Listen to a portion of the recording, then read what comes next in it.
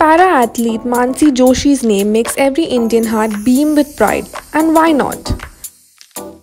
She bagged the gold at the Para World Badminton Championship in Basel, Switzerland, hours before PV Sindhu clinched the world title beating Nozomi Okuhara. The 30 year old defeated world number 1 Parul Parmar 21 12 21 7 to win her maiden title. It is never easy for any athlete, and more so for someone like me who has to face adversity on all fronts to script this golden moment in my career, Manasi said after her win.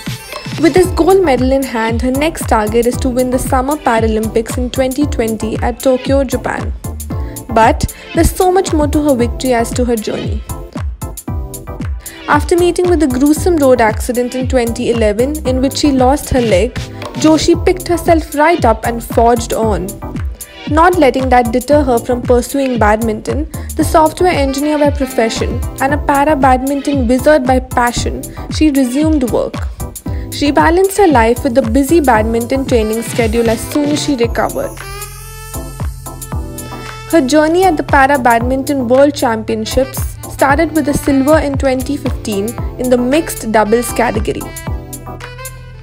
She went on to bag a bronze in 2017 in the single events and now a gold just completes the circle as Manasi calls it one of her biggest achievements. Some of her recent wins include bronze medals in the single category of the 2018 Para Asian Games, 2018 Thailand Para Badminton International, and 2017 Para ba- Badminton World Championships. A silver medal in mixed doubles at the 2015 Para Badminton World Championships also shines bright in her list of accolades. Joshi developed an interest in badminton at the age of 9 and also tasted success at the school and district level tournaments. She credits her family's support during her tough time